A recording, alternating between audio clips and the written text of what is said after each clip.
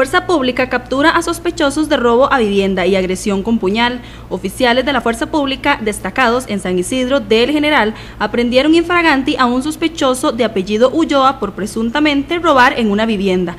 La Fuerza Pública acudió al llamado de auxilio de una mujer quien había sido víctima de robo, pues al ingresar observó que le habían sustraído dos pantallas planas, una computadora portátil, una bicicleta y una alcancía, todo valorado en 4 millones de colones. Los oficiales realizaron una búsqueda de personas sospechosas. En la búsqueda, una llamada alertó que un sujeto merodeaba la casa que ya había robado, por lo que la fuerza pública lo ubica y lo captura. El sujeto portaba en un pequeño bolso los tornillos de las verjas que al parecer había quitado de la vivienda. La fuerza pública también encontró en un cafetal las pertenencias de la víctima.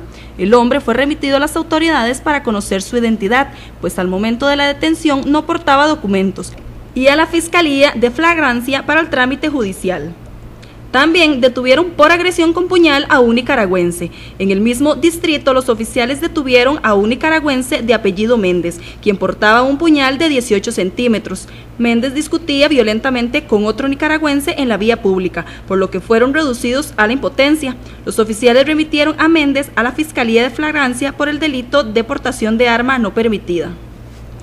Además, un hombre de 67 años de apellido León estuvo extraviado en la montaña por varias horas. El hombre ingresó en horas de la tarde del sábado a la zona de San Jerónimo de San Pedro. Pasaron las horas y no regresó, por lo que los familiares dieron el aviso a la Cruz Roja, que comenzó la búsqueda en el sector del Cerro Ena.